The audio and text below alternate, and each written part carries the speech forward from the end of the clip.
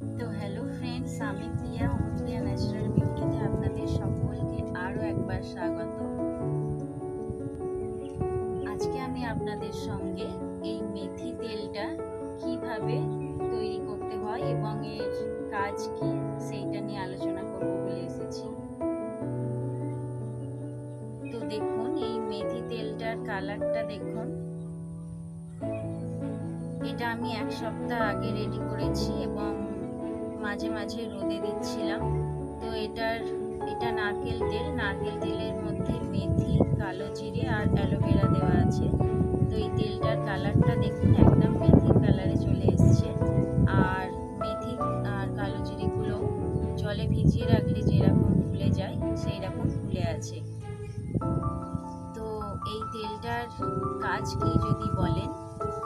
এতে মেথি, কালো জিরে আর অ্যালোভেরা আছে। মেথি, কালো জিরে আর অ্যালোভেরার গুণ আপনারা হয়তো জানেন।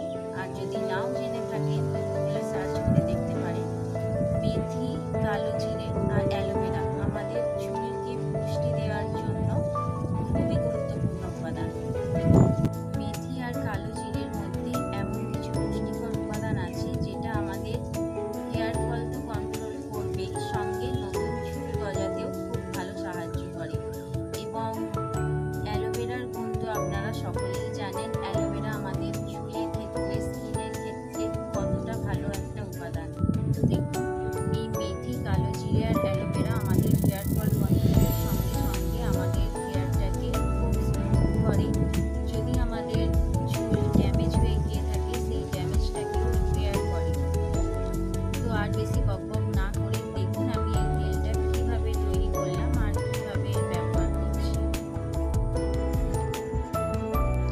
একটা ভালো কাঁচের সিসি বা কৌটো নিন। যে কোনো ঘরোয়া রেমেডি করার জন্য কাঁচের জায়গায় ব্যবহার করুন। তার মধ্যে এক চামচ মেথি নিয়ে নিন। এক চামচ কালো জিরে।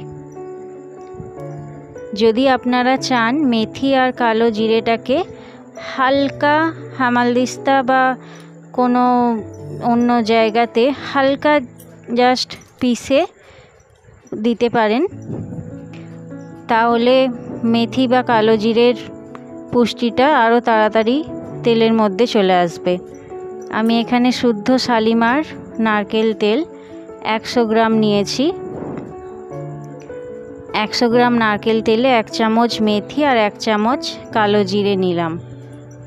এইবার অ্যালোভেরার পাতাটা আগে থেকে তুলে রাখুন।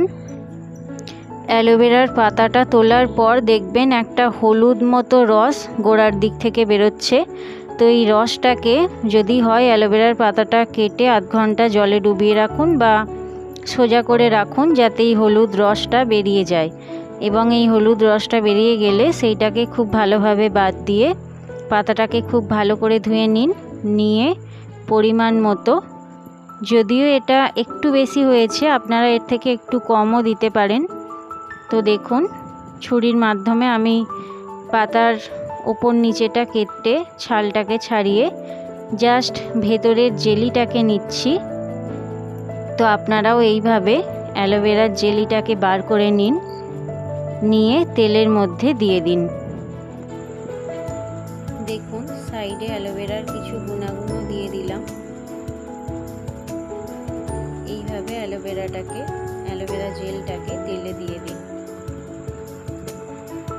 অ্যালোভেরাটা এতটাই উপকারী যে ছালের মধ্যে লেগে থাকা জেলিটাও আমি নষ্ট করতে চাই না, তাই আমার স্কিনে লাগিয়ে নিলাম।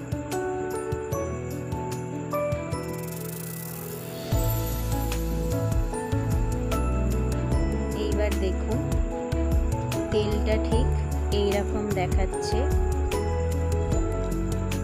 তেলটাকে একটু ভালো করে নাড়িয়ে নিন।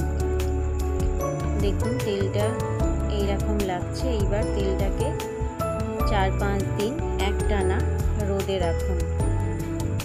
চার পাঁচ দিন একটানা রোদে রাখার পরই তেলের কালার পুরোপুরি চেঞ্জ হয়ে যাবে। তখনই বুঝতে পারবেন যে এই তেলটা আপনাদের ব্যবহারের জন্য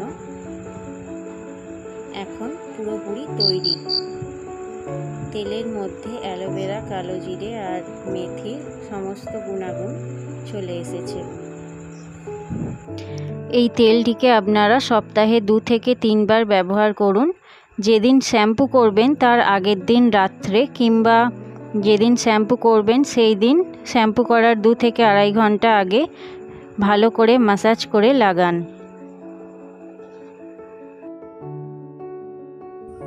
আজকের